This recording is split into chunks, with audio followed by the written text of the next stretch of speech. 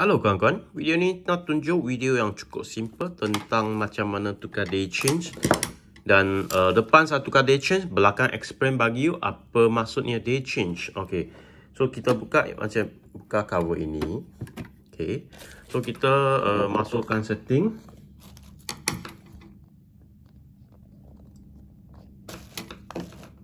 Masuk setting, tolak ke kanan. So, sudah masuk mode setting. Day change dia biasa nombor ke yang kat mesin ini, tekan tambah. Nombor 4 adalah day change. Biasa dia 000. Ah, memang standard. Kalau you enter, you boleh tukar masa dia. Ramai yang tersilap ingat dia day change adalah tukar masa. Bukan. Day change kat sini memang tukar macam ni saja. Setting sampai sini lah. So start dari sini saya explain apa masukkan day change. Okay. Example saya set pukul 1. Pukul 1 tengah malam ah day change. Okay.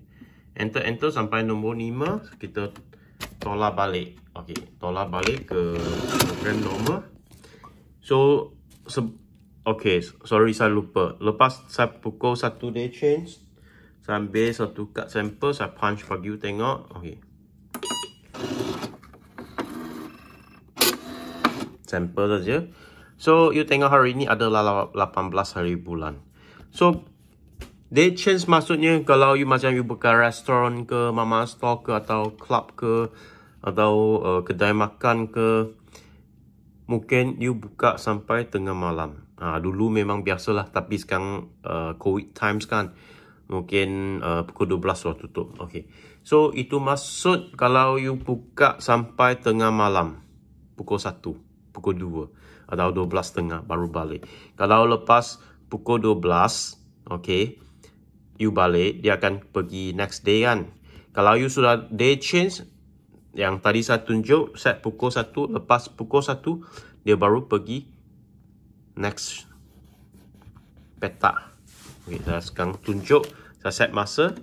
Okay, 12.31. Ha. Tambah sini. Tukar masa dulu. Nombor 3.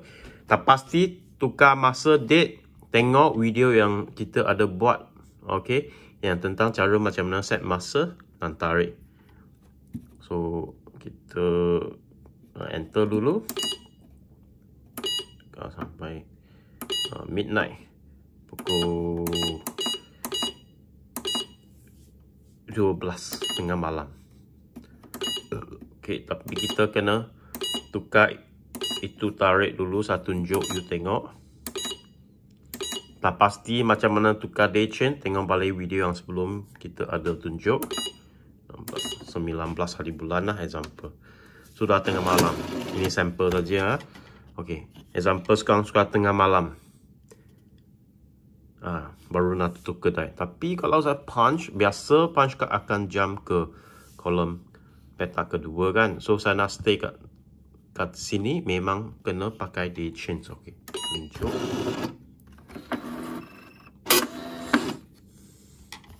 So, ini ada maksud nak day change. Kalau saya set pukul 1, lepas pukul 1 dia automatik ke bawah. Okey, saya tunjuk.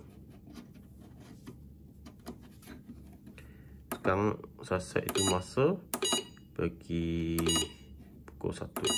Okey. Lepas satu lah. So, minit saya tak adjust dia. Okey. So, saya day change lah. Nombor 4 dah day change lah. Pilih satu. Okey. So, apa akan terjadi lepas pukul 1?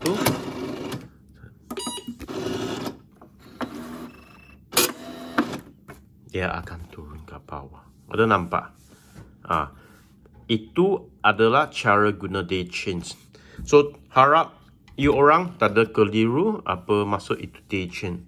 So, saya explain kat sini lah. Kalau tak faham, okay, you tinggal komen kat below, okay. Tinggal komen kat below. Office kita kalau ada masa akan reply you, okay. So, ini adalah date change punya kegunaan. Harap you uh, dapat belajar uh, tentang day change inilah. Jika anda sukakan video ini, bagilah satu like dan jangan lupa uh, subscribe kan Equest Attendance Marketing channel kita. Nah, terima kasih menonton.